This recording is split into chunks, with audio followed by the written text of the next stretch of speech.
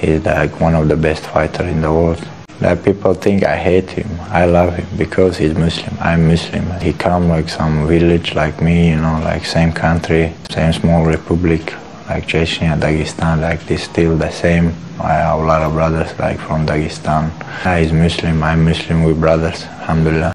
So Khamzat Chimaev and Khabib, most people think they don't get along, and in this video, Khamzat Chimaev talks about how he likes Khabib, and growing up Khabib was one of his role models. Most of you guys might not know this, but one of the reasons Khamzat Chimaev started fighting, started not fighting to be honest, he started fighting way before Khabib was in the UFC. But one of the reasons he wanted to join the UFC was because of Khabib, and he's a really big fan of Khabib. And Khamzat Chimaev is a good fighter. He's probably one of the best uh, middleweights and welterweight fighter in UFC right now.